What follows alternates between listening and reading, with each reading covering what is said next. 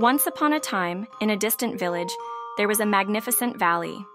In this valley, there was a world where flowers danced and birds wove melodies into the air.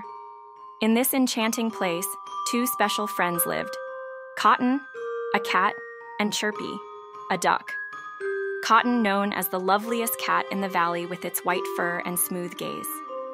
Chirpy, on the other hand, was recognized as the most cheerful duck in the valley with its colorful feathers and lively voice. One day, Cotton's eyes discovered something beyond the valley. On the other side of the forest, a world she had never seen before awaited. Chirpy was right there beside her, eager to share in her excitement.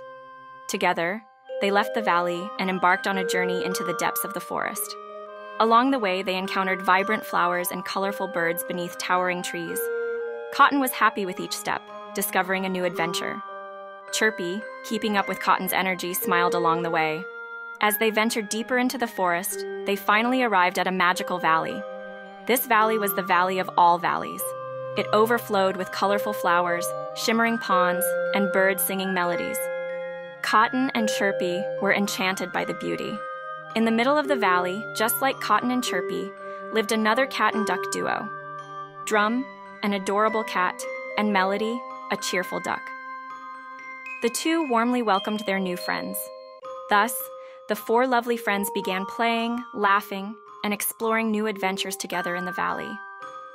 As the day turned to dusk and the sky painted itself in various colors, Cotton, Chirpy, Drum, and Melody realized how beautiful it was to go beyond the valley, opening doors to different worlds.